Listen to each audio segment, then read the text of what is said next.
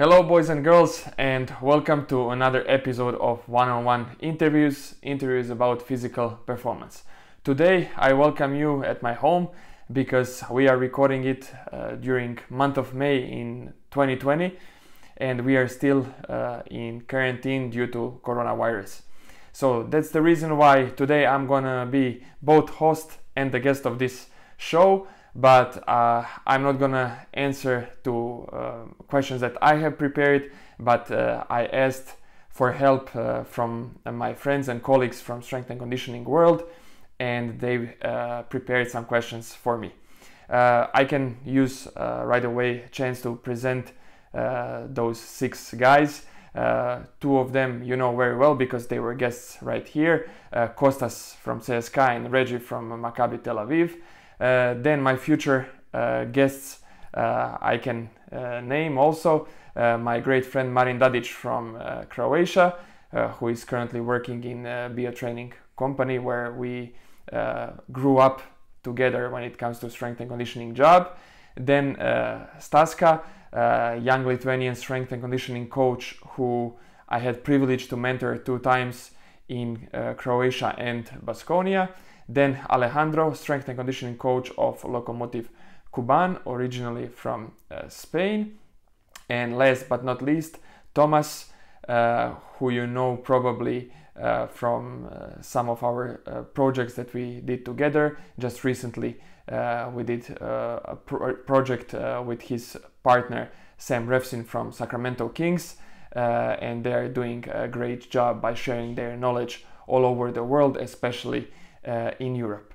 So, uh, as I said, I'm going to be answering their questions and I hope you will uh, enjoy this episode. We are coming back soon. Okay, let's start with the first question from Thomas. Uh, number one, uh, what is your biggest motivator? What drives you to go above and beyond uh, in what you do? You know, not just taking care of the players, but you know, um, writing your book, um, digging into the research, all the projects that you've been doing, just going above and beyond of what is expected. And I uh, would love to hear what's your biggest motivation behind that. Thanks. Well, I think like everyone, uh, I'm driven by both some internal and external factors and i think the majority of motivation should come from from the inside. And uh, what i like about my job and, and just being uh, um, in the sport environment and surrounded by athletes and coaches uh, it just gives me a, a great uh, emotions and, and positive uh, vibrations so to say and uh, this competitive environment of, of sports is something that uh, really resonates uh, with my character. Um, I'm a person who likes to set both short term and, and long term goals, and this competitive environment uh, keeps me motivated uh, and reminds me of uh, my character. And on a daily basis, when I see successful athlete trying to become better, uh, it also motivates me uh, and reminds me of who I am and who I want to be and just uh, gives me motivation to do research to do different projects. And also I there is a term in, in sports psychology named uh, achievement motivation. And it's uh, based on uh, achieving goals and keeping them as as a motivation. And i'm uh, a guy who likes to put every uh, goal doesn't matter if it's a daily goal or, or a goal for uh, next three years i like to put it on on paper. And once i achieve it i like to uh, check it or i like to cross it uh, just to have that uh, again good emotions behind my achievements. Of course on the other hand i'm also motivated by some external factors and uh, one one external factor that keeps me very motivated are uh, successful people who I like to uh, investigate.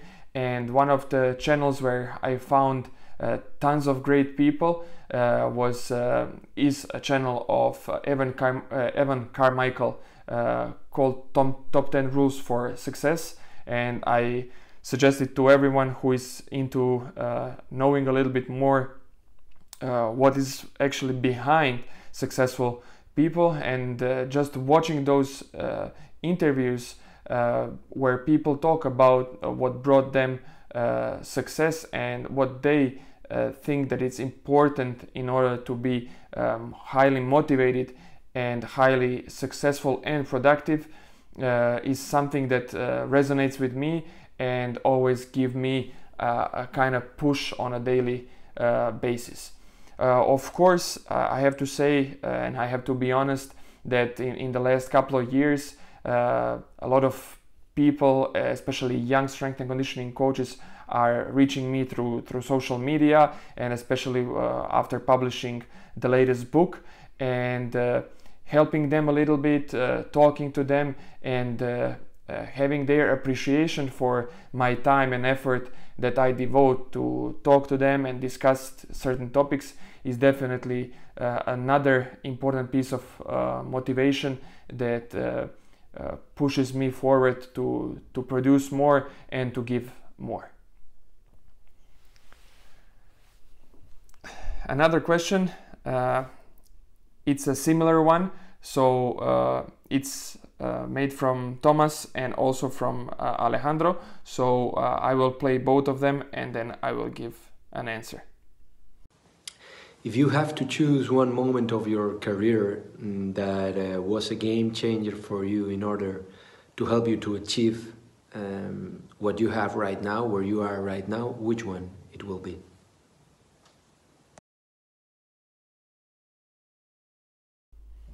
And Thomas? Uh, the second question is Would there be any defining moment in your career? I'm sure there's uh, quite a lot, but could you recall up one defining moment that changed your perspective or changed your philosophy in some sort of way uh, from that moment on?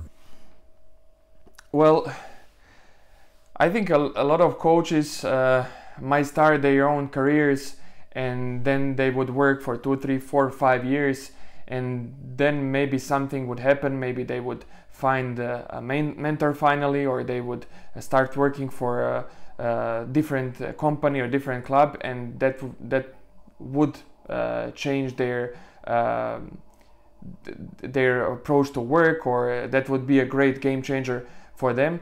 Uh, honestly, uh, during my career, I haven't had any crucial moment that kind of changed the path where that I'm following, because basically when I have decided to become a strength and conditioning coach, I think uh, the the real game changer for me was knocking on the door of my uh, mentor at that time. Uh, his name is Luka Milanovic, currently a professor at the University of Zagreb, and also he is a strength and conditioning coach of national football team of uh, Croatia. And uh, when I was still a student, I knocked on his door and I asked for help in a way that I was looking for a internship position, and uh, he arranged me uh, my first internship, which was kind of job, full-time job, uh, where I was strength and conditioning coach of basketball club uh, Zagreb junior uh, team. In that year, uh, we had on our junior team Mario Hezonja and Dario Šarić, so you can imagine how much I enjoy, enjoyed my work. so uh, I think that was a game changer because uh, there was a person who I was able to uh, consult about any of my doubts. Uh, he was the guy who would prepare uh, books to read, who would give me uh, different assignments and tasks. And later on, when we started to work together in the national basketball team, and later on, I used to work for a couple of years in his private company. Uh, it was just a, a, normal path that I, I was following. I was on, on right tracks, and then from there on, uh, I just uh, had an opportunity to, to work uh, in with elite athletes in, in different sports. And also, he was always very supportive about my uh, work in basketball. He was uh, a person who introduced to me Uh, Joke Vrankovic, ex uh, national team coach who I went with uh, to Turkey, and basically from from there on, it was just a, a normal path towards being now in Basconia. and that's why I, I cannot say that there was a game changer throughout my career but early in my career when i think the game changer back when i was a student was the decision to uh, knock on the door of uh, luka milanovic next question is related to hardest part of of our job. So let's hear it. Reggie. Luka, my guy, finally I have the opportunity to ask you questions. You keep asking us questions, and now it's our turn. So, my first question to you would be, my friend, is what do you think is the hardest part of our jobs? Well, I think uh, there is nothing really hard about strength and conditioning job. Uh, on the contrary, uh, everything is, is pretty easy. Uh, I cannot complain. I'm not an old guy who is suffering while traveling. I'm not a big guy who is 210 and cannot sit normally on the plane or on the bus. Uh, so there is basically nothing really hard about the job, but by choosing the career of strength and conditioning coach might be hard in, in, in different ways. If you I'm a guy who has a lot of friends in, in Croatia, and I'm uh, also a family guy who has uh, two sisters and, and, mom back in Croatia. And uh, probably for me, this is the, the hardest part of uh, being a strength and conditioning coach in a foreign country. Uh, and I definitely miss a lot my, my friends and family. Uh, also, I think uh, one of the greatest challenges and the hardest parts when it comes to daily work is uh, pushing ourselves out of the comfort zone. Why I'm saying this because uh, in in last this is the first time in Basconia uh, that I'm staying in one place more than a full year, full season, and uh, what I could realize is that uh, in in certain fields of my of my work uh, you can easily uh, get trapped in in the comfort zone. So, for example, uh, you set in the first year recovery methods that you would like to do, and then in the second and third year you just stick to the plan. I'm not saying it was like that, but I'm just giving an example where you sometimes you forget to be uh, uh, innovative or uh, to come up with, with new things, to change a little bit dynamics. It doesn't have to be really innovative, it doesn't have to be something new, but just to change a little bit how you work in the gym, uh, how you approach uh, every team warm up, uh, how you uh, behave and act with players during traveling, and so on. So I think the greatest uh, challenge and it's not the hardest part but if you are the guy who wants to be uh, successful and who wants to be out of the the comfort zone you have to find a way how to be outside of it and and that's one of the greatest challenges so that might be something that it's really hard when it comes uh, to my job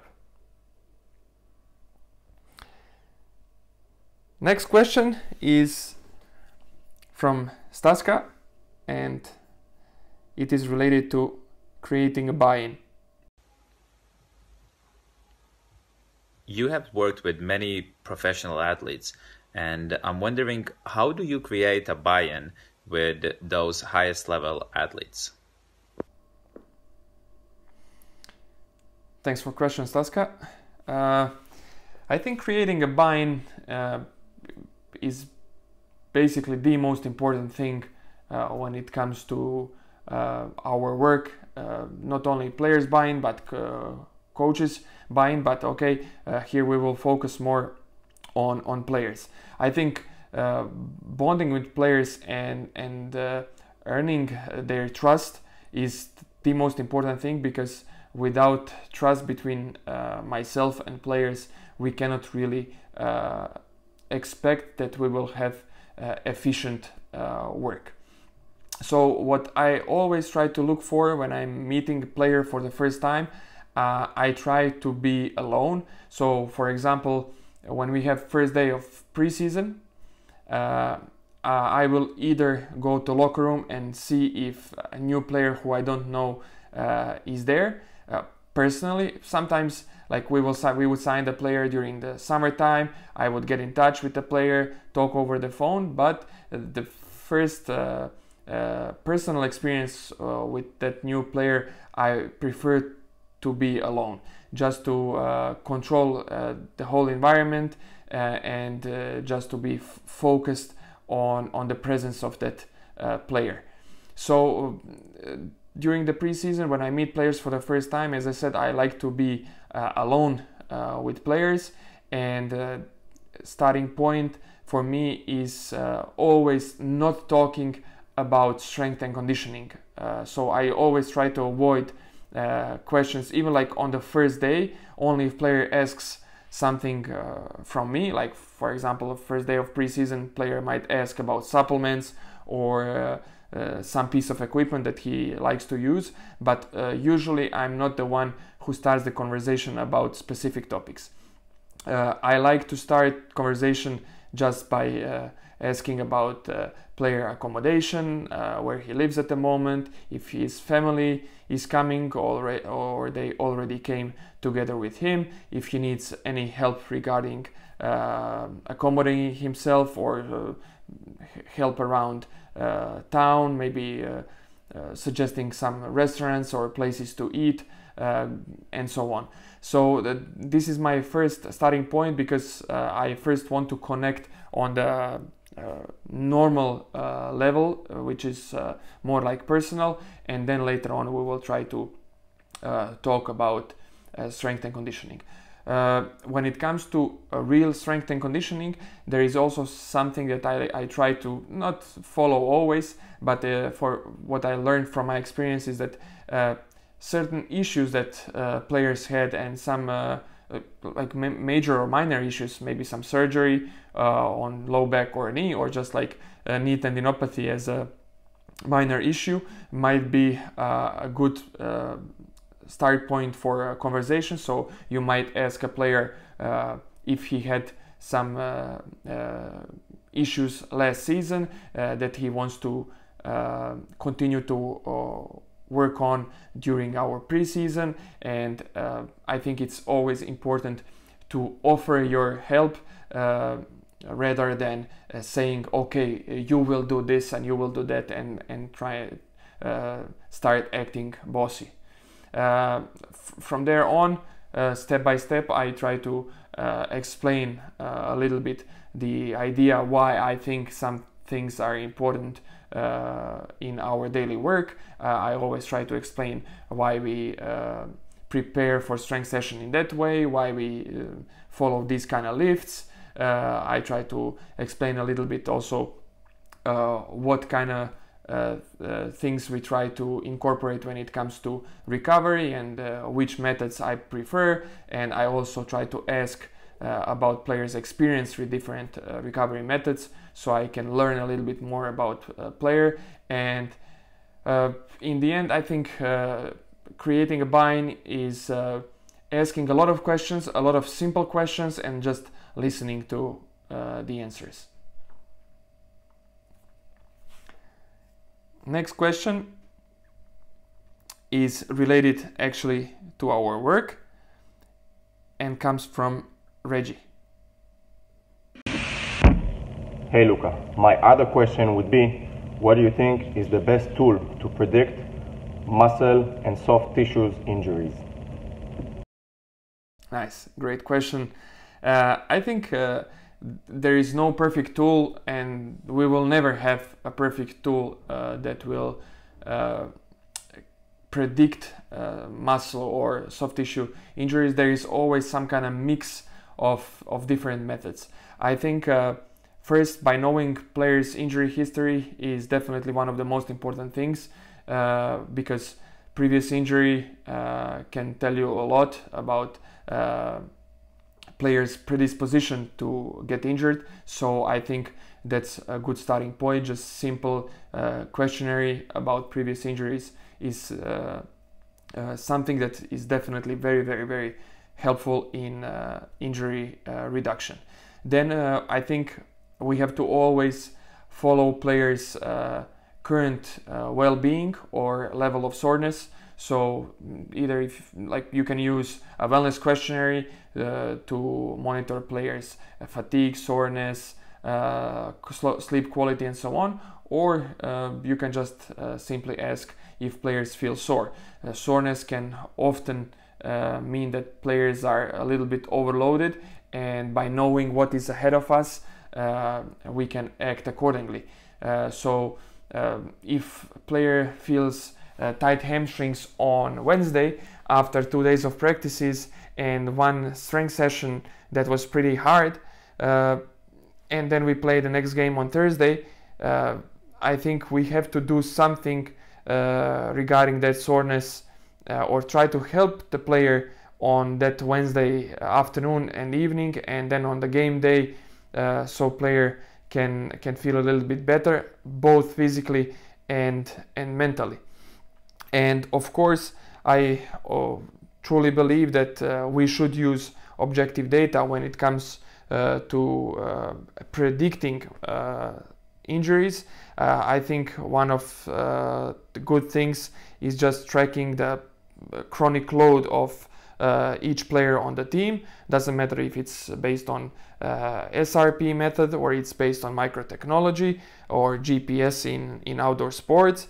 Uh, also, uh, we should uh, use acute chronic workload ratio. I think even though there are some uh, debates nowadays about the effectiveness, I think it's it's pretty useful. Uh, also, we had a good uh, research from Kathleen Weiss and her colleagues on acute chronic uh, workload ratio and injury occurrence in basketball, in professional basketball. So it was kind of study that that for me gave more strength to the ideas of Tim Gabbett.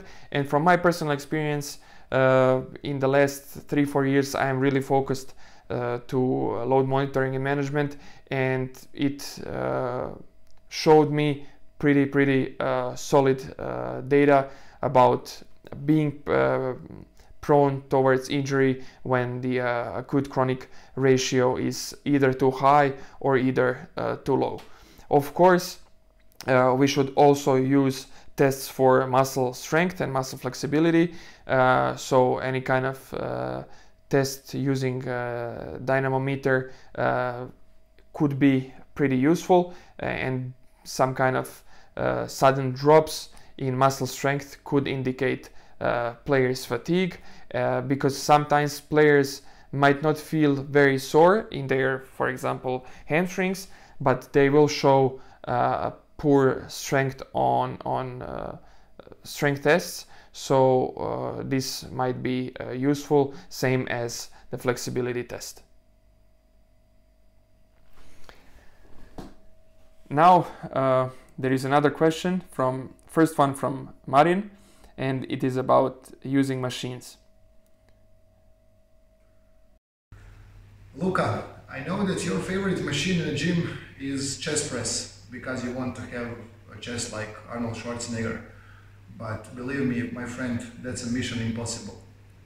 So, uh, I want to ask you, what is your opinion about uh, working on machines with the professional athletes? And do you use machines in your training protocols and strength training program? Thank you, Marian. Uh, well, first, uh, I think we have to uh, make a, a, short definition, or we should differentiate a different type of machines. Uh, there are machines such as uh, Keiser machine or Roman chair, uh, and those machines are very, very useful. Uh, and then on the other hand, we have more like fitness industry type of uh, machines uh, for shoulder press, chest press, some rows, even including leg curls and leg extensions. And I think uh, those kind of machines that are kind of old school fitness industry uh, type of machines should in general be avoided uh, when it comes to healthy athletes strength and conditioning program. Uh, however, using machines such as knee extension or hamstring curl machine during some kind of rehab or prehab program uh, might be very very useful. Uh, for example, players who go through uh, rehab process of hamstring tear definitely uh, using uh, uh, knee curl or hamstring curl machine is useful because they can gain their strength they can load it concentrically with both legs and then maybe use it in the eccentric phase only on one leg. Uh, it's very controlled range of motion, uh, and I think uh, it could be beneficial especially to uh, develop some, some kind of hypertrophy uh, and bring some uh, muscle mass back on that injured leg. Uh, also, I think uh, knee extension knee extension machine is very useful machine when it comes to knee tendinopathy isometric work and combined with electro stimulation of muscles could be something very, very, very uh, beneficial uh, when it comes to knee tendinopathy prehab. Uh, when it comes to uh, work with healthy athletes, I'm not saying that it should be forbidden, but it generally it should be avoided, especially if we are talking about elite basketball where we don't have a lot of time uh, to be in the gym. Uh, in general, I try to avoid machines, even though we have it in the corner for rehab guys uh, and I think uh, we can use it. And uh, a couple of months ago, I was watching a podcast with Cory Schlesinger, and he was saying that it might be actually useful uh, to do, for example, uh, hamstring curls uh, before you do trap bar deadlift because you will prepare those hamstrings in, a, in a really, really uh, good way uh, so your deadlift can be even more powerful uh, and and just executed in a, with a better movement mechanics. Also, hitting hamstring curl before basketball practice might be pretty useful for uh, deceleration movements because uh, hamstrings will be uh, activated well and and uh, definitely uh, the decelerations and changes of direction uh, might be even more successful. Also, players' sensation of being more activated uh, is something that we can uh, very often see uh, and experience. And if player says that he feels better, more comfortable, and more activated after using a certain machine, I will never uh, say anything against it. However, uh, machines in general uh, should be avoided uh, when it comes uh, to uh, general strength and conditioning program. That's my opinion, and I think uh, there should be they should be used in a specific moments, and they should always supplement uh, exercises such as trap bar deadlift, split squats, Bulgarian squats, and and so on. another question, and then we'll make a short break. Preseason conditioning question from Kostas. My last question is a little more technical. Uh, I would like to know how you go about preseason training, uh, you know, especially conditioning. What are the methods that you guys use? How do you decide on the load? And generally, how you handle this uh, very stressful part of the season?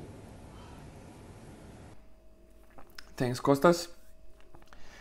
So for me, uh, the most important factor when it comes to preseason conditioning is actually the head coach because uh, different head coaches have different uh, philosophies and different approaches during the preseason. Some of the uh, head coaches like to spend a lot of time uh, outside because it's preseason, so we will have a lot, a lot of basic conditioning, uh, which is far away from uh, being on the court and far away from uh, developing conditioning through uh, competitive games such as 2 on 2, 3 on 3, 5 on 5.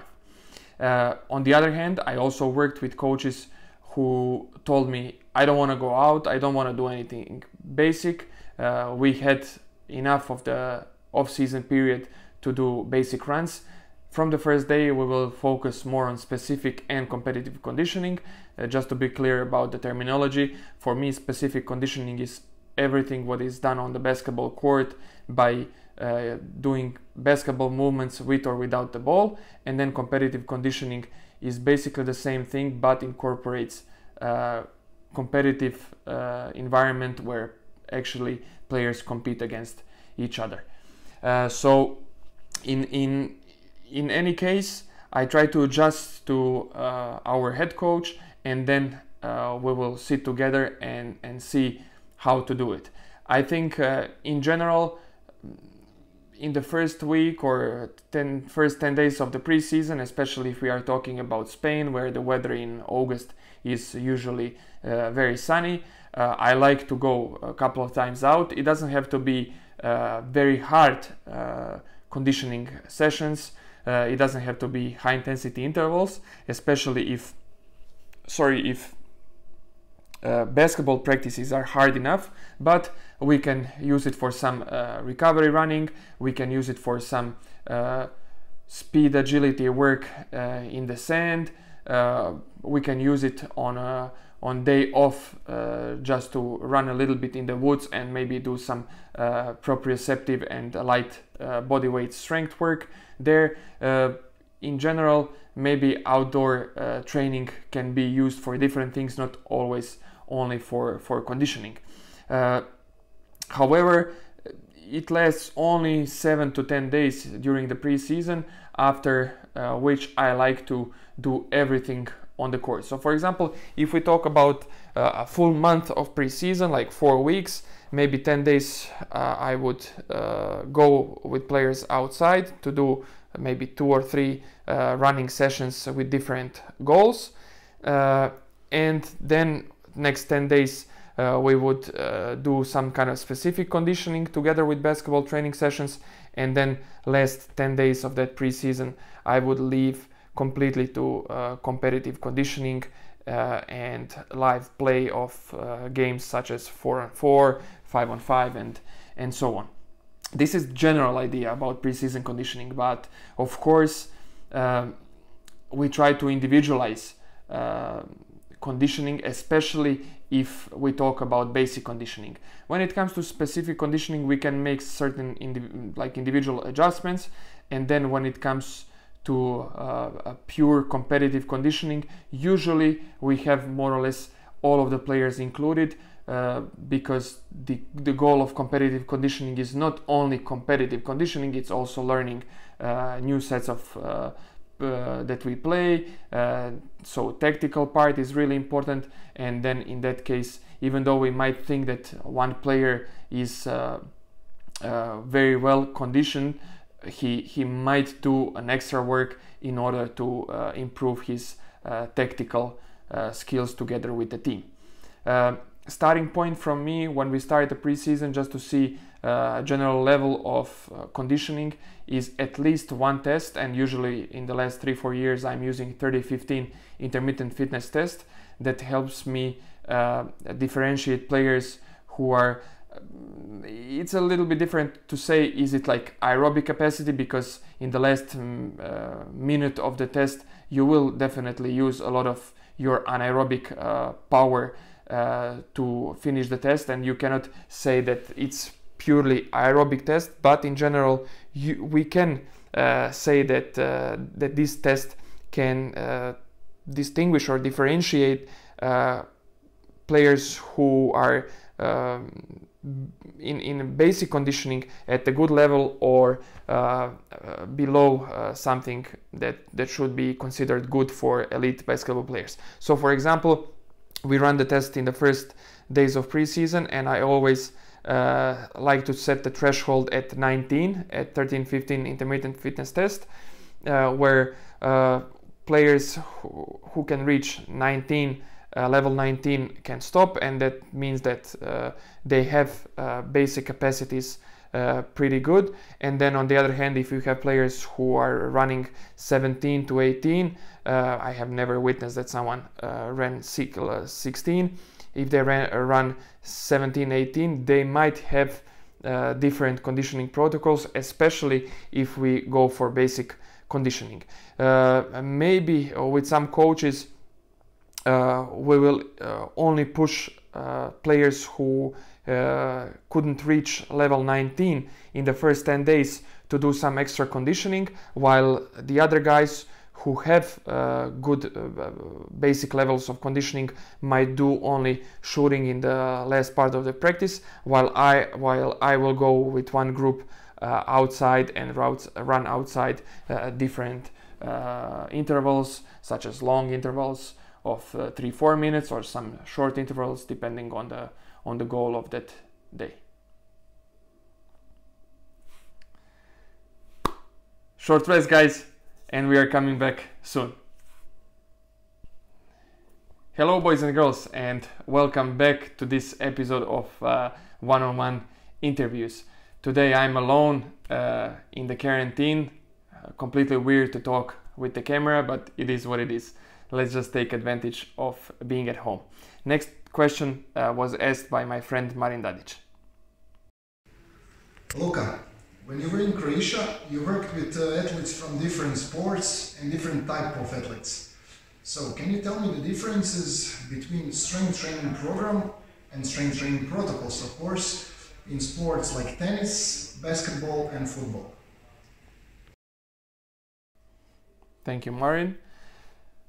For me, uh, it's pretty simple. I, I was uh, highly influenced uh, early in my career by Mike Boyle's work and especially his uh, strength training approach and strength training philosophy. Uh, so for me, the difference between team sport athletes and their strength program and athletes in racket sports, it's not so different. Uh, we want to build good strength foundation with good submaximal and maximal strength with uh, uh, we can also use basic lifts to develop hypertrophy and muscle mass needed for that athlete and that sport and then with that foundations of uh, basic strength, we can move into rate of force development and explosive work uh, and plyometrics. Uh, so I think in general, when we come when it comes to uh, weightlifting, uh, I think it's uh, all about basic lifts with free weights, back squats, trap bar deadlift, single leg squat, uh, split squats, uh, split squats with uh, rear foot elevated, and so on, and upper body movements with pull and push philosophy. So a lot of bent over rows, pull ups, one arm bench press, bench press uh, with, dumb, dumb, uh, with uh, push-ups and variations of push-ups and, and so on. I also think that before we talk about the elite players and development of uh, submax and max strength, also uh, relative strength development is uh, very very important. and here in in the section or the field of relative strength development, uh, I have found uh, the greatest information uh, from Pavel Tsatsouline and his book Naked Warrior. I think once we build good strength foundation and, and general basic athleticism with our players, uh, we can move into analysis of demands of that certain sport. So uh, this is the first step when we are looking uh, into differences between basketball, soccer, and and tennis. And for example, we can uh, from the analysis of soccer game, we can say that out of these three sports, uh, soccer players uh, are the ones that use the least uh, parallel feet position. They might do it in certain jumps, uh, but it's it happens uh, very very rarely during uh, the game. on the other hand, basketball players, tennis players use parallel feet position much more. So this is one of the ways how to uh, uh, prepare and select exercises when it comes to uh, strength work. When it comes to tennis compared to basketball and soccer, we have much more rotational movements in tennis, especially rotational movements that demand power and strength, especially power. So developing strength and power in rotational uh, movements is of out- utmost importance for uh, for tennis players. And then when we compare, for example, another movement pattern that uh, we will try to use also in the lifting room, uh, and with that movement improve players' performance on the court, is definitely lateral movements that are, uh, we could say, the key for tennis players and and basketball players. So uh, doing a lot of uh, lateral uh, movements, lateral bounce, shuffles, cross steps is something that we have to integrate into strength and power development when it comes to tennis players and and basketball players. And then last but not least, I'm just like following the general idea from uh, approaching strength in general, then approaching uh, strength for different sport and finally uh, something that is probably the most important thing but uh, now in this explanation comes at the, at the last uh, position is individual needs. Uh, we have to know who we are working with. Uh, if we are working with uh, a tennis player who likes to run a lot who likes to keep the ball inside inside and, and just try to um, stress his conditioning qualities so he might run and move the opponent a lot and he would move a lot on the court so probably he would not be a very muscled uh, the tennis player. So we have to respect a little bit how we design strength program for that player uh, not to make him super bulky and and uh, of course in that case we will also take care of nutrition. Uh, we also have to know if we are working with players who have a lot of experience or not so much experience in the weightlifting room. So definitely training age is something that we have to consider. Uh, previous experience and desires of uh, that player are also important.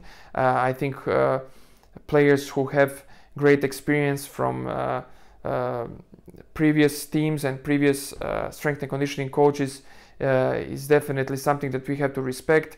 From my personal experience, especially here in Baskonia, where I'm working with the elite players, I'm very, very lucky that most of our players every season come from uh, great programs from NBA, from uh, American universities, and uh, I think that is something very, very important when it comes to really designing uh, individual uh, programs. Uh, also, considering players' previous injuries, it is something that can change a little bit or modified strength program. For example, players who had low back issues or are prone to have tight uh, muscles in the back, uh, they might uh, not do often or they might not do at all exercises such as trap bar deadlift or back squats. We would move more towards split squats or uh, single leg uh, work. Uh, also, even though I like complex training where we would do some submax uh, lifts and then we would do maybe some explosive movements, even some plyometric movements. I have to also think about uh, players' current load, especially during the in season program. If a player uh, plays a lot of minutes during the games and he also participates in all training uh, sessions with the team. Uh, it is not probably it is not the smartest thing to push him uh, to do a lot of uh, plyometric jumps. However, uh, we we can have players who play a lot of minutes, who train with the team, and then they they will still ask you to do a lot of uh, plyometric stuff in order to keep them at the highest physical performance. So uh, when it comes to individual needs, there is so many different factors that we have to respect, that we have to consider uh, when we are making programs, and that's why uh, I love my job so much because uh, on a, even though I have a certain idea of strength program that tomorrow might be the best for my uh, for each player of uh, my team. Uh, maybe tomorrow uh, I will have to make certain adjustments uh, because there will be players who will come a little bit sore, a little bit more fatigue, with certain problem in their knee or their back, or physios will come to me and say, "Hey, Luka, please today avoid these exercises with this player, just not not to push, for example." Uh, his low back or, or his knees because he was complaining and, and the treatment uh, was not so, so successful and so on. So this is definitely something uh, to consider when it comes to uh, differences between strength training for soccer players, football players and tennis players. Another question about pre-game lifts from Reggie. Hey Luka, my other question is what's your opinion about pre-game lift? In the morning of the game or right before the game? Oh, I love I love this question because uh, I'm a huge fan of pre-game lifts, both as Reggie said on the game day or one day before the game. I honestly believe that uh, uh, short, quick, uh, effective uh, pre-game lift can really improve uh, physical performance and it's something that is supported by uh, science and also i think it is very beneficial from a mentality point of view i think through this muscular activation and general arousal i think uh, players feel more comfortable and i think more ready to play the game i think when it comes to really making the program of pre-game lifts, there is not such a big difference when it comes to uh, exercise selection. Uh, it's more about adjusting uh, loads of certain exercise and especially volume. Now, our pre-game lifts and the lifts on the game day might not be so different from other lifting sessions because uh, I'm huge believer uh, that uh, in-season training program should be microdosed uh, training sessions that last 20 to 30 minutes maybe 40 minutes uh, with some uh, preventive circuit at the beginning or something similar maybe individual routine but 20 to 30 minutes is more than enough and then use basically every training game to, to spend some time in the weightlifting room and I think this pre-game lift can be, for example, 20 minutes long. Uh, I think the key thing is to uh, load players with the load that uh, usually they uh, would like to do before the game. So I think feedback from players is really important. So from my uh, point of view, I think it's good to do uh, explosive work, and most of the players usually feel comfortable with the explosive lifts, uh, maybe 30 to 70 percent of their uh, uh, max uh, repetition.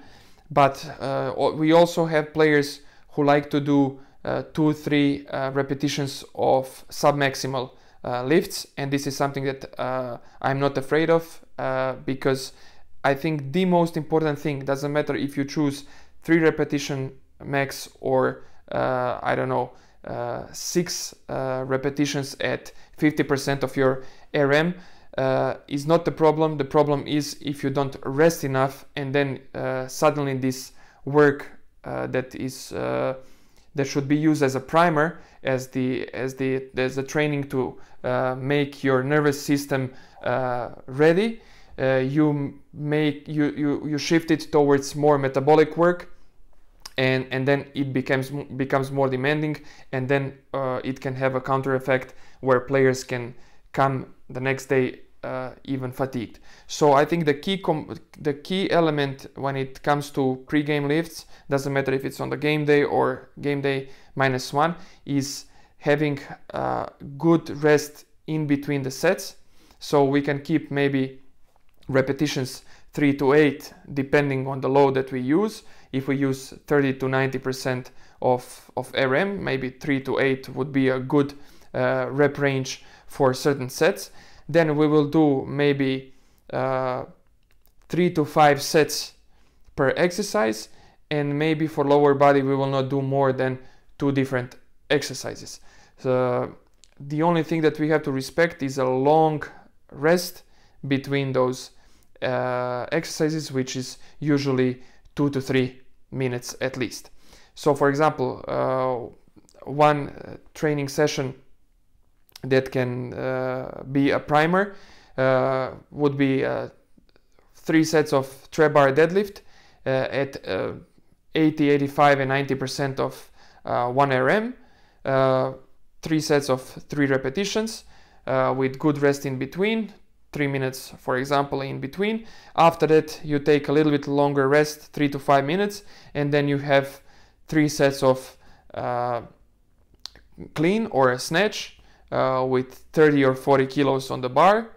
Uh, and then we can maybe add to it three sets of five drop jumps. Uh, this could be more than enough uh, that players feel uh, very activated and usually for that kind of work we will need at least 20 to 30 minutes because of the longer uh, rest periods. Now, another question about force velocity profiling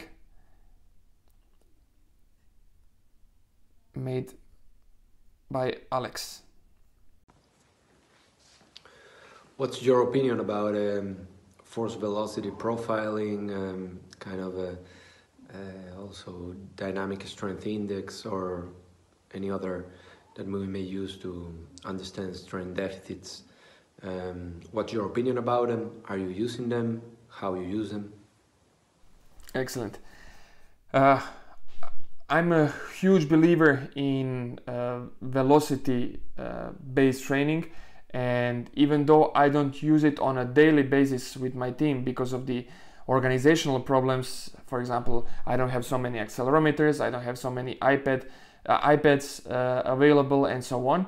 I try to push my players that every lift lift doesn't matter what they do they always have to do it as explosive as possible as fast as possible. And this is something that probably they hear uh, the most times in the in the gym because uh, I always say like the, the concentric phase of movement should always be as explosive as possible and I always uh, try to uh, explain them that this is something that they are always looking to have on the court so this is something that we have to also have it have in the gym.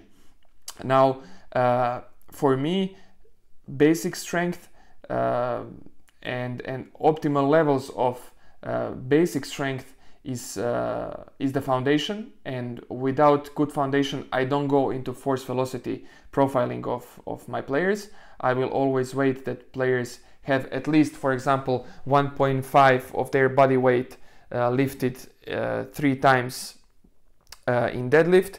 Uh, I will wait that they feel comfortable doing split squats with two kettlebells of 32 or two kettlebells of 40 kilos and that they do at least a single leg squat with two kettlebells of uh, 24 kilos. Of course, they also have to perform uh, a little bit deeper single leg squat uh, with their own uh, body weight with good knee uh, control.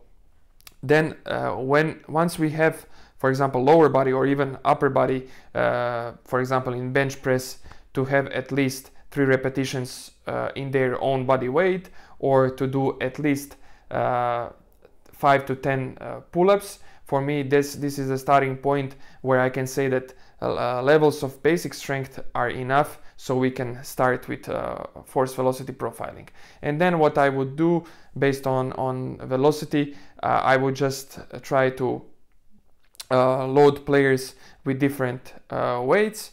Um, maybe for a trap bar deadlift, it would be 30%, 60%, and 90%. Uh, or 30, 50, 70, and 90% of uh, 1 RM. And with um, uh, velocity of the bar, I would see if they have certain deficiencies when it comes uh, to movement velocity and then may maybe in the training program we would attack it and we would uh, work on it. Uh, from force velocity or velocity based training, I, I also like to stress just the uh, uh, velocity of the bar. Uh, so a lot of uh, uh, speed strength work we would do by measuring only pure velocity to have at least one meter per second or more in with certain weights. And what I really like about having a clear uh, picture or clear value of uh, movement velocity or power output uh, is actually the fact that we can work on power endurance and we can work on so we can work on the on many repetitions by maintaining the the power output or the velocity that uh, we would like to. And then once we see that that velocity of the bar is dropping we can just uh, uh, put the weights down and rest until the next set. This is also something that is really important because it's effort based uh, programming rather than uh, one uh, repetition and, and percentage of one repetition. Uh, so I think it's it's uh, another quality that we can bring to general program of our strength sessions. And last but not least, I think when it comes to force velocity profiling, uh, and uh, velocity based training is the fact that players can really see the, the number in front of this, themselves and I think it's uh, very good from a motivational po uh, uh, point of view and also it is uh, good because all of our players are competitive and just by competing and against that number we can highly influence the quality of work that players are actually doing in the gym and uh, quality of effort that uh, they are giving to uh, do certain reps and certain sets of uh, different exercises.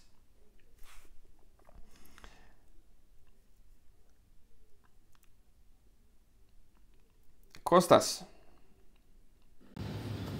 Hi Luka. hope you're doing well considering the circumstances. Uh, I know you've been doing uh, quite a lot of work regarding load monitoring. And I just want to know how, how this information that you gather throughout the season uh, helps you make practical decisions regarding uh, practice intensity, practice frequency, regarding player rest, and in general, how do you use the, all this data in a practical way? Thanks. Mm, first of all, I have to say what I'm using, so later on I can explain a little bit uh, how I'm using different data. Uh, currently with Baskonia I'm using Catapult, uh, so it's uh, external objective data that uh, we collect through uh, our practices. I also try to ask our players for the RPE so I can get the SRP values. Uh, when it comes to objective parameters of players' readiness, we use blood analysis every two months with our medical department. And then uh, I also like to perform uh, different uh, questionnaires or use different questionnaires on, on a weekly or daily basis. So, for example, wellness questionnaire would be used on the first day first training day of the week, which might be Monday or Tuesday, depends if we have Monday off. And then we can use also total quality of recovery questionnaire on the game day. So if we use it on every game day, uh, we might collect data two or three times per week here in, in Europe. Uh, I also try to uh, compare data between external and internal loads. So I might compare player load to SRPE and uh, those are some uh, valuable uh, variables that, that can be used in order to, to track loads. Uh, so subjective and objective uh, data are equally important to me because uh, I always try to uh, remind myself that even though uh, we are in in the uh, era where uh, we have a lot of technology available and uh, there is a lot of numbers especially technologies like catapult where you can create your own variables and you can uh, after one training session you can get millions of parameters. I think we should uh, never forget that we are working with humans and uh, by working with humans uh, it's always important to consider their subjective uh, feedback and also our subjective feedback uh, as experts in the field who observe daily practices of, of our athletes. So I think considering my subjective opinion together with subjective opinion of the player supported by objective data from uh, different technologies such as heart rate or microtechnology and so on uh, is something that we uh, we should definitely keep in our mind. Uh, of course, uh, I was using in the past different things such as Oura rings for tracking player sleep quality and uh, gadgets like that Omegawave and so on is something that can be really really useful uh, from time to time we might even run some uh, jumping or sprint tests to see players readiness even though we are always careful when to do it and, and, and how to perform it because of the just congested uh, schedule uh, in the competition. Uh, now when I have all of this uh, data in, in front of myself, uh, there is uh, something that I can use right away without consulting the head coach because I have different responsibilities. so when it comes, for example, to recovery of players or some kind of strength session, by having all of this data in front of me, I might change some things or I might add some things. So for example, in the strength session, if player is feeling sore, I might change a little bit lower body uh, workout because he has tight hamstrings and I will focus more on the upper body. When it comes to uh, sleeping bad, I can uh, immediately talk to our uh, doctor or to our physios and maybe uh, help our player to sleep better, maybe give some advices uh, or give even some melatonin pills or whatever uh, could be could be useful. On the other hand, for certain things uh, to to manage and to change, I need to have support of of my head coach, and here is the the trickiest part. With some head coaches, uh, based on all of the data that you have, you will sit down and plan the whole week or plan the next day at least. Sorry, and with some coaches, it will be just like, okay, uh, provide me some data after practice just so I can see how players practiced, and at the at the end of the week, just show me a little bit uh, how we are on the acute chronic uh, workload ratio, and for everything else, I'm gonna be in charge. I'm gonna make the complete schedule of today's session and the weekly uh, weekly training sessions. So uh, I'm I'm trying to give to coach uh, not as much uh, data as possible. I'm trying to be selective. So, for example, currently with our head coach Duško Ivanovic, after every practice, uh, we uh, I present him uh, data on player load, individual player load, and individual high intensity changes of direction. So he has two parameters uh, one is uh, related to volume, player load, and one is related to intensity, number of high intensity changes of direction. Of course, he's following training time, something that uh, he always keeps in mind, and these are the variables that he usually uses in order to, to talk about uh, training sessions, how we did it, and uh, in order to plan uh, sessions for the, for the following days. So it really depends on the coach what kind of variables variables uh, we will use. For example, in the in the training facility where we have antennas, we might change and uh, we will not use player load, but we will use distance as a parameter of training volume. So uh, some things can change. I think the most important thing is to have one or two uh, variables variables that you use uh, in order to talk about training volume. So it can be training time, it can be player load, uh, and so on, or uh, uh, some heart rate based parameters. And on the other hand, you can have intensity parameters. So you might have player load per minute, or you will have high intensity changes of direction, or for example, in the in case of heart rate monitoring, you might have time spent in the highest intensity uh, heart rate zone. So uh, I think always combination of subjective and objective uh, parameter is uh, parameters is is the best uh, because it gives a clear picture and comprehensive picture about uh, um, our players and about their current physical condition.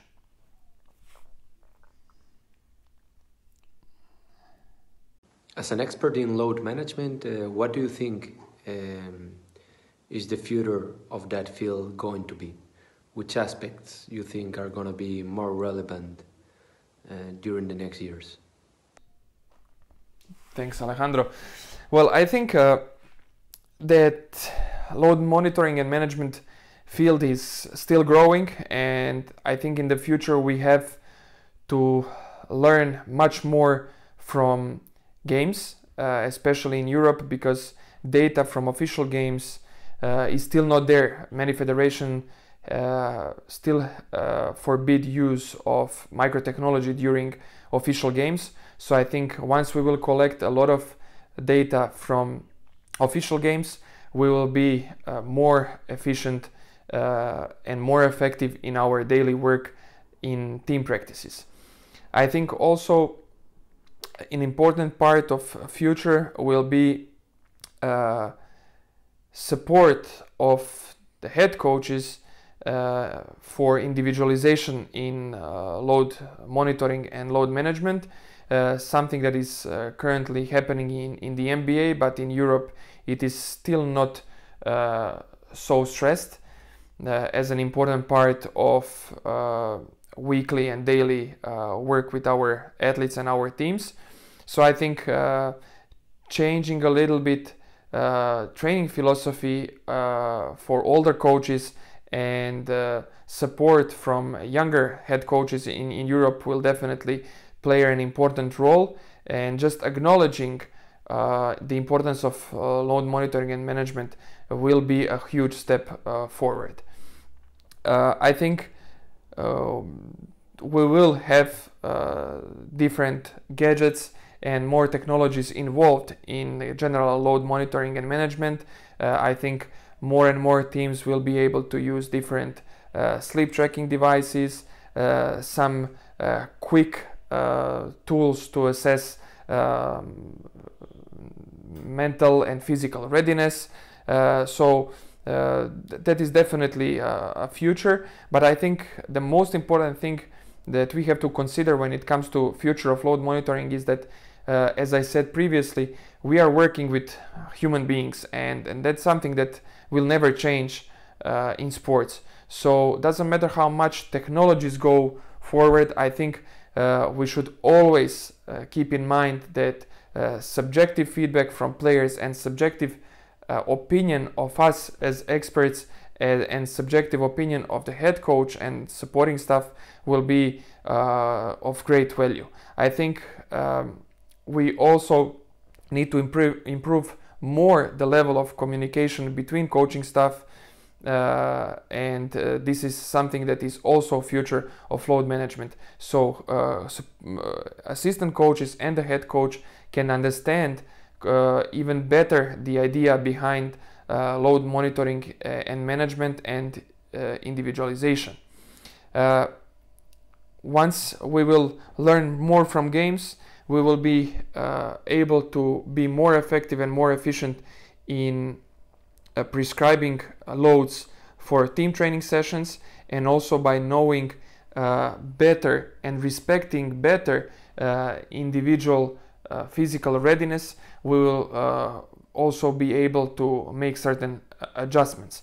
I think a lot of players a lot of head coaches in europe in general are, are a little bit afraid of this individualization mentality because they they think that ah players will be too protected you know we are protecting players they are not practicing enough and so on. I don't uh, think that's that's bad way to to look at it uh, but usually it comes from coaches who don't uh, speak about the importance of load monitoring and management and they don't stress it in their philosophy as a part of their uh, program. And then when it comes to uh, the needs of uh, i don't know keeping one player uh, apart from one part of the practice uh, seems a little bit awkward. Uh, players don't have trust then players start looking at each other why today this player? and and they have some doubts. But i think if the communication uh, from the beginning will be uh, clear. And if coach will state that as an important part of team success then we will not have any problems. And in the key moments of the week which could be one or two moments we can spare some players from uh, some minutes in team practices and uh, let them recover well and prepare uh, for the for the upcoming game upcoming game. I think if we support players in that way they will be both physically and mentally uh, ready for uh, the upcoming competitions. And now we will make a short break and we are coming for the last part of this interview. Hello, welcome back to the last part of the interview and we will start with one interesting question from Staska probably you have been coaching for a decade or even more. So I'm wondering what kind of failures, or maybe what is the biggest failure that you think you have ever had? Uh, thanks, Staska. I think we should always acknowledge our failures, and uh, the most important thing after the failure is that uh, you appreciate it uh, you learn from it and you give your best not to repeat it. Uh, I can give you two examples uh, that I consider maybe two of my failures during uh, the period with Baskonia. In the first year, I had one player who was just uh, coming back after the injury, and we were doing probably the last session before joining the team again. It was some specific conditioning on the court, and he was just goofing off. He was just acting lazy. Uh, and at one point, we were about to start uh, the, the, the last uh, interval of work, and then he, he told me, Hey, can I go to the bathroom? And I just snapped. I was, I was really pissed because uh, he was kind of tr- trying to take advantage of uh, my, my character, my, my patience, and that is something that uh, I I, I found it offensive, even though I, I, I shouldn't have, because uh, I think um, his laziness was uh, talking more about himself than me. And in, in the case when I work, like I learned that in case I work with lazy players, e- either I'm going to be a, a very strict coach who's gonna shout and yell and, and do something about it, even though I'm I'm not doing that because after that situation i have never experienced that again and i didn't have to shout at any, anyone or i could go in, in different direction and just uh, try to forget it and then focus on the next training session and be supportive for that player. And in in most of the cases if uh, i continue to support that player even though he had like a bad moment uh, everything turned out pretty well. And it was it was good. So I think uh, getting pissed because at certain moments someone is uh, being a little bit lazy is definitely not a good reason to get pissed at that player. When it comes to a second example, it was more like a, a team uh, situation. We played second year. We played uh, second game of finals against uh, Real Madrid in Madrid, we won the first game, so we were uh, one up uh, in the series. And then second game they played really well. Uh, the third quarter they scored like so many points, and and and then we were down by like 15. And due to my happiness about the score from the previous game, I I stood up and I shouted at players that uh, uh, we should play tougher and we should fight more. Uh, what I think, uh, and, but I said it like in, in a little bit uh, critical way, in a, in a, in a really bad way, uh, and no one actually reacted to that to that moment because we were already 15 points down. Players didn't feel like very competitive.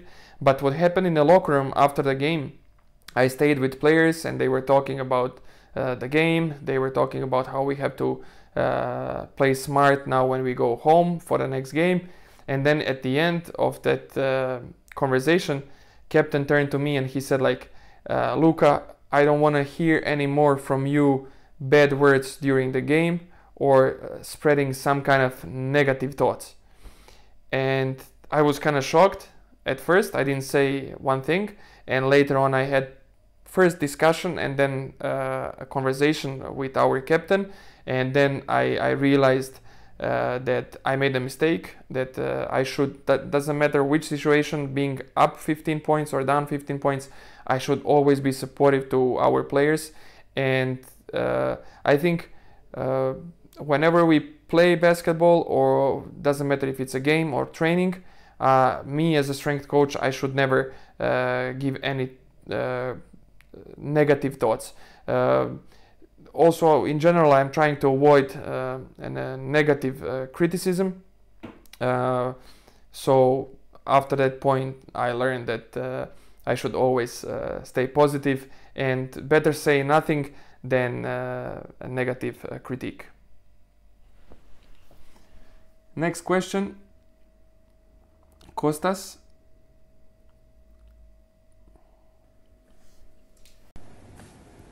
So my third question has to do with rejection. How do you handle a rejection either by the coach or a player? And by that I mean that, you know, sometimes we go to our coaches with ideas, with opinions, with suggestions, and they just don't accept them for their own reasons. But we still need to convey that information because we think that that is going to help the team or protect a player from injury and and uh, just generally we want them to get our take on, th on things. And how do you handle that rejection? How do you go back to the coach or how do you uh, go about that? And or the same thing can happen with a player. We can suggest something, an exercise, a method, or or a, a way to approach a certain situation, and they won't listen. And that can be also stressful for, for, for our job. So how do you handle all that? Uh, it's it's a really good question because uh, I think it's the problem of ego. If if we set our ego pretty high, then we will always have problem in the communication uh, with head coaches and players. The environment of team sports is always changing. We always have to adapt to it, and if if we cannot accept changes, and if we are really stubborn about our ideas, uh, usually we will have a lot of problems.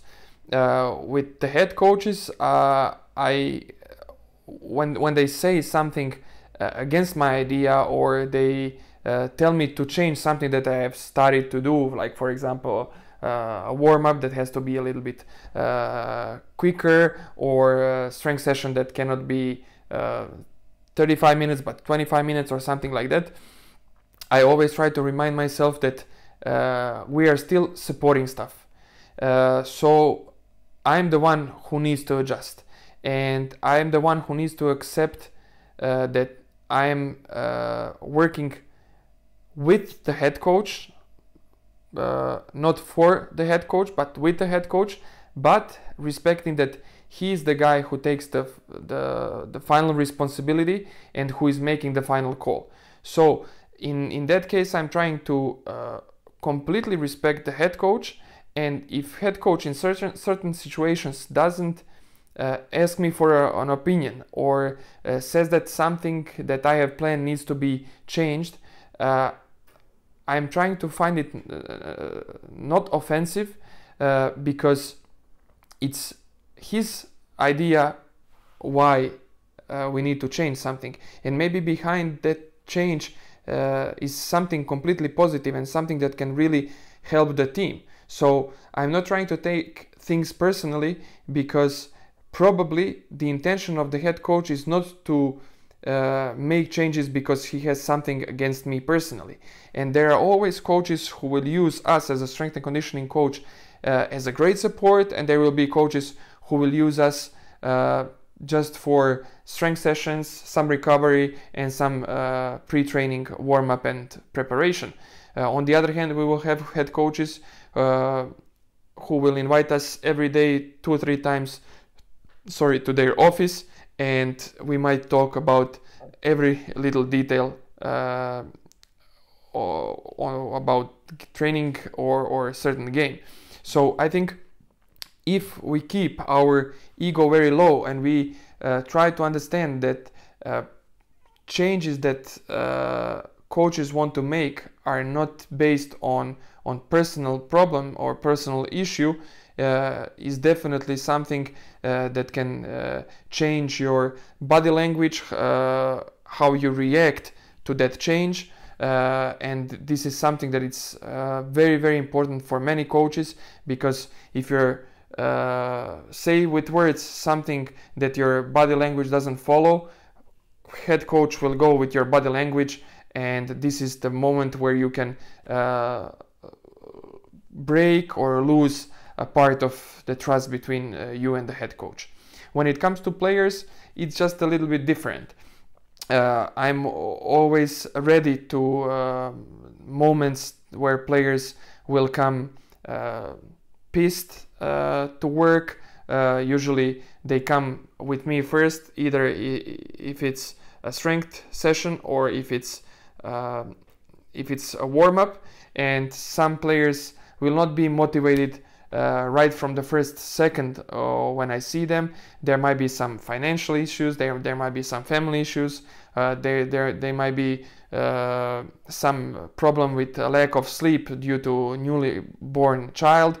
So uh, before I make any assumptions, I always try to ask players uh, why they're uh, rejecting my ideas or why they're uh, uh, trying to avoid something that I wrote on the board and so on. Uh, the only thing that I'm trying to avoid when it comes uh, to these certain situations when players might say, ah, I'm not doing strength today, I might not react immediately to that situation, but I will wait a, a minute when that player is alone in the corner or uh, whatever, and I will just uh, ask kindly, hey, uh, is there any problem? Uh, can I help you somehow? Do you want uh, me to change a little bit the program? And this is something that I would do once, maybe I would do twice, uh, not in a short period of time, but I would do twice.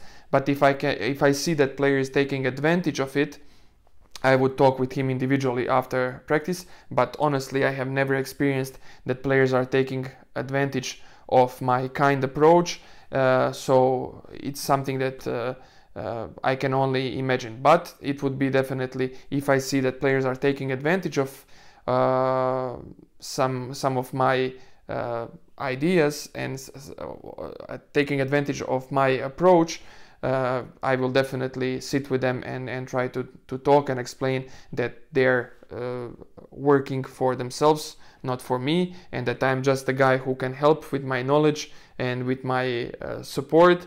So if they want to take advantage of it, that's good for them. If they don't want to do it, then uh, we have we have problem for him, not for me.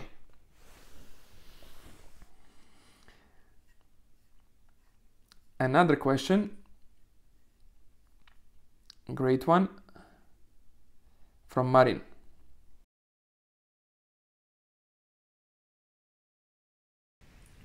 We studied together 10 years ago, so now I can see tears in your eyes. Time flies, my friend, believe, believe me. We spent a lot of time together, talking, had a training together, learning. And can you tell me your advices for the young student? How to become a new Luka Svilar? PhD, of course.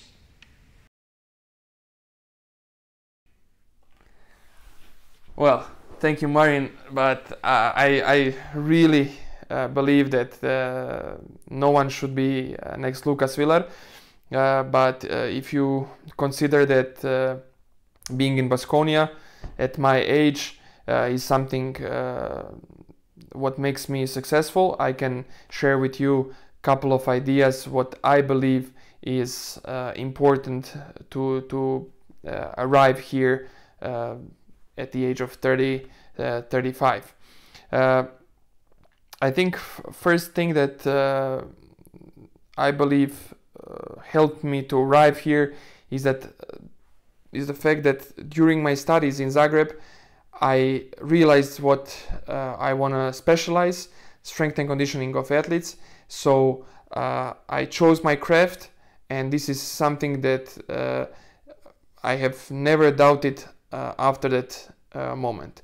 I put away all of the things uh, that I was doing before, such as uh, basketball officiating and stuff like that, just to earn some extra money. I left everything on the side and I started to focus. First day when I started to work, my uh, when I started to do my internship in basketball club Zagreb with junior team, I said this is going to be my major focus and from there on i'm just gonna uh, focus on on being as as good as i can then the second thing i believe that it's really important is to do every day something that will uh, improve uh, your craft so it can be uh, reading books it can be reading articles it can be watching videos webinars seminars whatever, you name it. It can be listening to podcasts. Just try to find a source of information uh, that can be useful to, to master your craft, and it, it should not always be related to uh, strength and conditioning. Maybe you saw these books, these are the, uh, the last 20 books more or less that I have read, and maybe one or two books are related actually to strength and conditioning. Maybe those for strength and conditioning are here behind, but uh, most of the books uh, that I've read lately are related to communication, self-improvement, you know, sports psychology, and so on. So just trying to uh, view our field uh, very holistically is something that can uh, improve uh, the overall quality of the work. Of course, in the first uh, years of my uh, career, I was focusing much more on real strength and conditioning knowledge rather than uh, uh, communication skills, self improvement, and so on. But uh, as years pass by, uh, I changed a little bit the ratio. However, however, I still enjoy a lot strength and conditioning books and and material. then I think if you also want to be successful, you have to find yourself a mentor. Uh, it's maybe it's not the key that you have to have a clear mentor, uh, but I think to have an experience, uh, experienced coach behind you who will uh, uh, support you, who will give you good advices, and who will help you. I think this is the most important thing when it comes to mentors who is going to help you be uh, selective and who is going to help you uh, in in making decisions which books to read which uh, books uh, not to avoid but maybe re- uh, read later in, in your life or uh, the guy who is going to explain you certain things and explain you how to build foundations in your work is something very, very uh, if you don't have a mentor, or you don't believe in, in a role of mentor, I think you, you should at least find yourself or uh, surround yourself with one or two uh, young strength and conditioning coaches, uh, such as I had Marin, who I would talk with every single day about certain topic. Uh, we would we, we were both so passionate and even today we call each other and we talk about uh, things that we read or um, things that we watch. So i think it's it's very important to have a person uh, who will uh, resonate with you and be on the same level when it comes uh, to passion for strength and conditioning field and someone who uh, will be there to debate things to discuss things. And very often with marin I would have a, a conversation, and what would happen uh, is we would sit, we would talk, and uh, maybe we would not say something uh, very smart, but uh, then when you go home and you're alone uh, in your room just before you go to sleep, and then you have this uh, conversation from three hours ago in your mind, maybe at that moment uh, some ideas for future work will will uh, uh, come out and and then you will feel help, happy and have these uh, positive vibes in you and even more motivated uh, to to to work. So uh, at least to ha have a partner or a colleague who will who will be on the same track as you are then I think uh, young students, uh, as Marin asked about students, young students should know that for me, four more most important things uh, to uh, take from uh, studying uh, at the faculty should be first of all take some basic knowledge. Okay, you will get some basic knowledge, but it's far away from what you should have in your life. you have to pass the exams and get diploma. So it's the it's the second thing that you you should do when you're studying and you should focus on.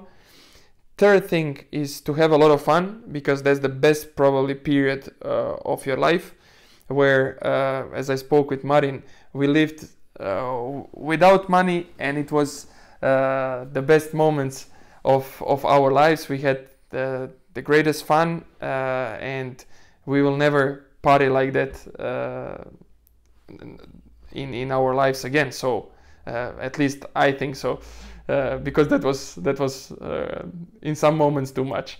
And and then I think that the fourth thing that you have to take from from faculty and that's probably the most valuable thing uh, behind diploma that might uh, be crucial for for your job in the future is uh, connections and friendships uh, especially if you can connect with uh, people who uh, will be in your field, involved in your in, in your field, is something of the highest uh, value without any doubt.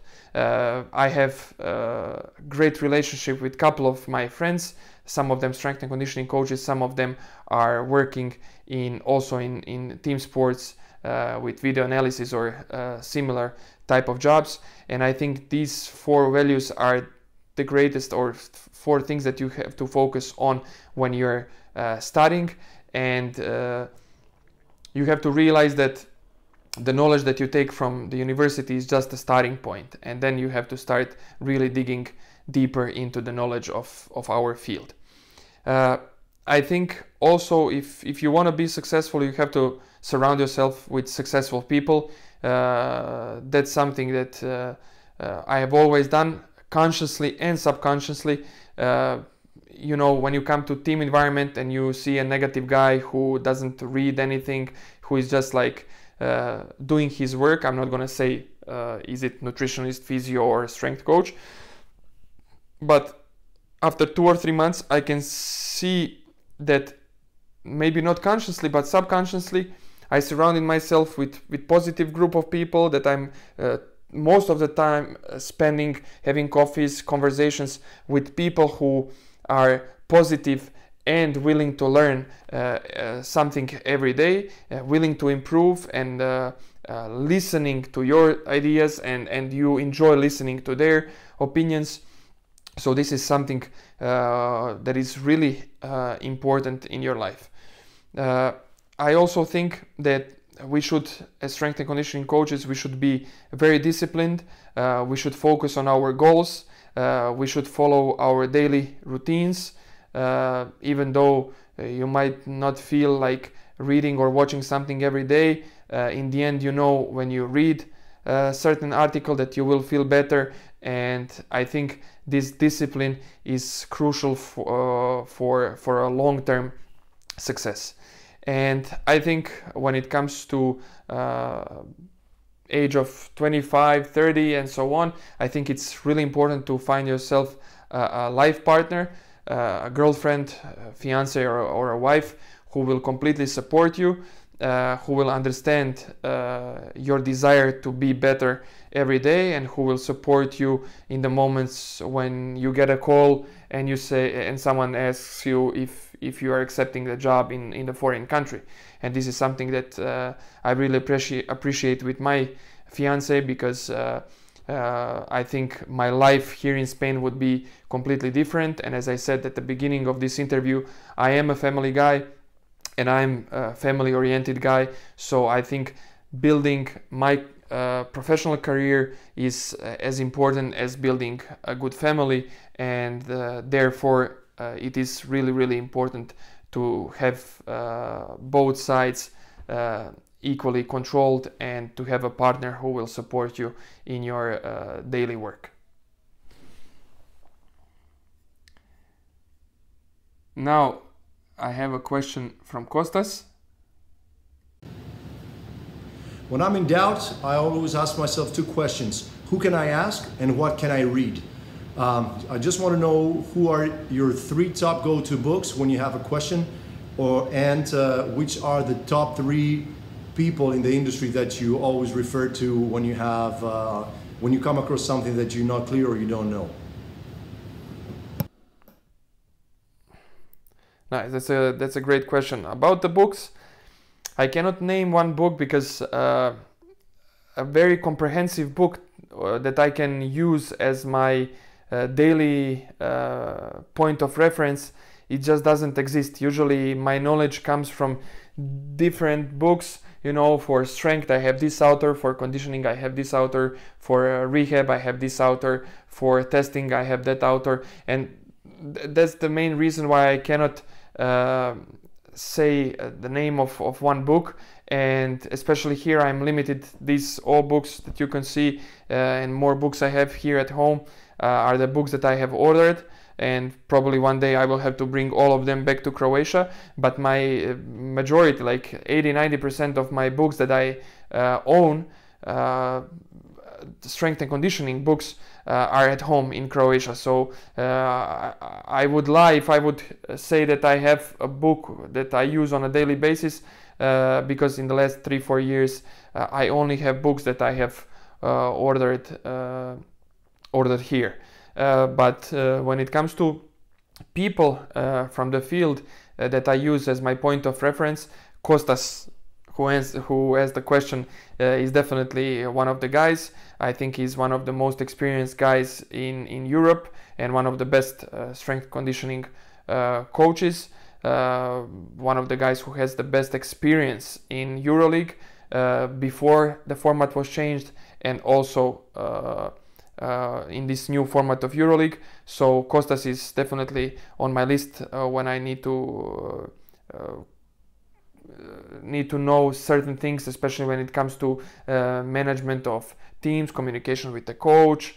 Uh, every person who I call uh, has uh, different qualities or uh, different different knowledge that I would that I would uh, look for. for example, with these uh, interviews and some projects that uh, younger people might be interested in. I might call uh, Staska. Uh, Marin is great support uh, since I have started uh, my work. So basically, with him, I go through every little problem. Maybe he's the guy who, who I would also talk about some super private stuff regarding finances in the business, investments.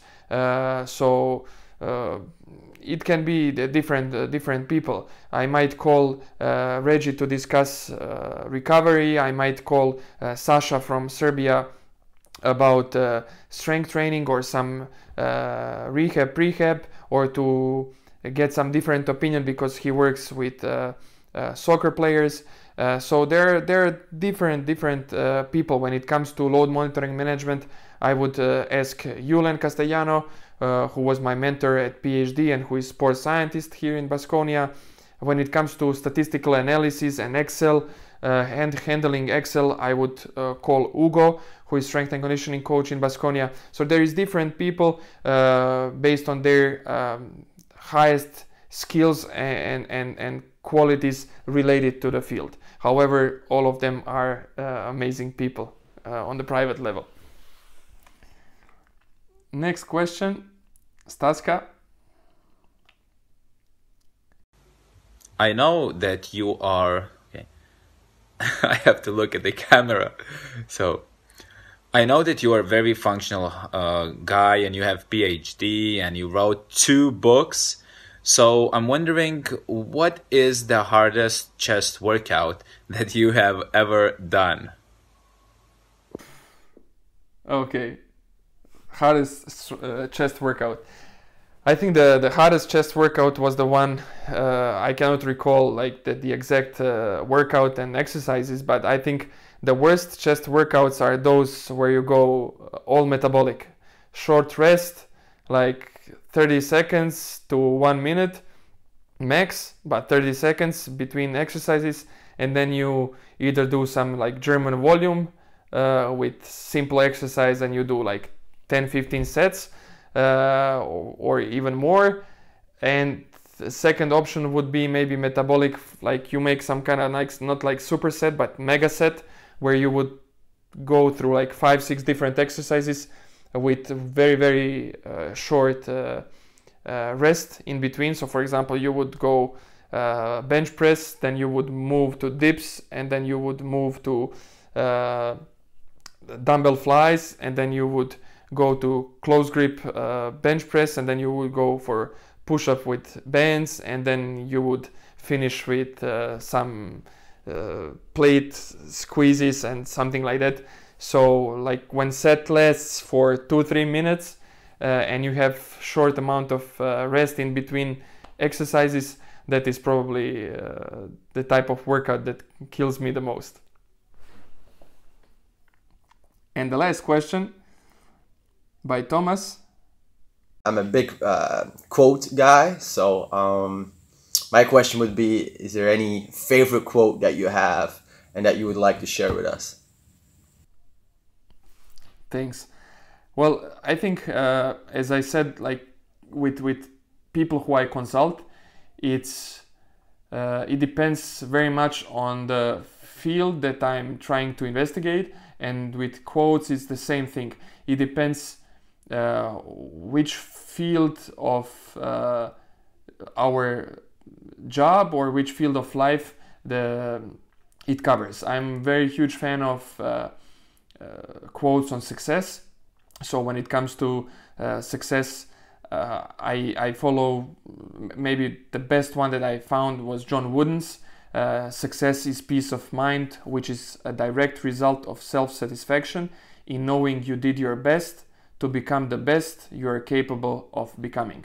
So for me, that is that one is is really clear and says everything about about success. So being successful is all about me, not about comparing myself to the others. And this is something that I truly truly uh, believe in. I just want to go to bed and know that uh, I did something that day to become better and wake up happy and and ready to be even better than I was yesterday. Uh, I like one about uh, success uh, from uh, Vidal Sassoon, uh, who says the only place where success comes before work is in the dictionary. So something that I said uh, previously about being disciplined and and uh, being a hard worker is uh, definitely one of the reasons people get success. Uh, so I think uh, work is underpinning every every success and every successful person. Then I think uh, there is one that is kind of funny and not related uh, to me if you translate it uh, literally, but it says if you hang around barbershop long enough, sooner or later you are going to get a haircut.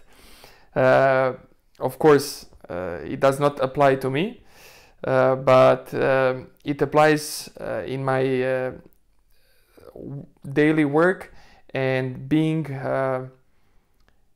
being ready and being uh, uh, patient uh, when when it comes to things that I'm looking for and things that I want to achieve. Uh, as I said, if you surround yourself with successful people, uh, there is a great chance that you will uh, be successful. So I think uh, if you work towards uh, something and on a daily basis you focus on small goals, eventually small goals will provide you a big goal and big achievement. Uh, from Stephen Covey, when it comes to communication, uh, something that I have stressed throughout this interview many times, seek first to understand, then to be understood. I think it's it's a principle of, of communication. Uh, when it comes to uh, knowledge and respect, uh, Bruce Lee has a br- brilliant one. Knowledge will give you power, but character respect and this is something that is definitely important in our daily work. Uh, another one about communication. If you think communication is all talking, you haven't been listening. That's a great one. And for me, uh, as we work in the environment where we have a lot of people involved and changes can happen from minute to minute, I think it's very important to ask questions rather than uh, making assumptions. So Mark Twain said it, it is wiser to find out than to suppose.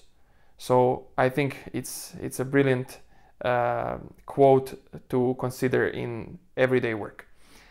Guys, uh, with this we finish this interview. I hope that you enjoyed this uh, episode. As I said, due to coronavirus, uh, we are in the quarantine and I had to uh, mm, come up with an idea how to uh, maintain the schedule that I promised uh, every three to four weeks new episode on my YouTube channel. If you like this episode, don't forget to share it. if you like the content on my YouTube channel, you can follow it. however, next episode will uh, probably going to be with another live guest uh, right here or in some other place because uh, in the next couple of uh, days or weeks uh, we will finish the quarantine and I will give my best to uh, find a guest and record another episode of one-on-one interviews. Have a good day, have a good evening and see you soon. Bye bye.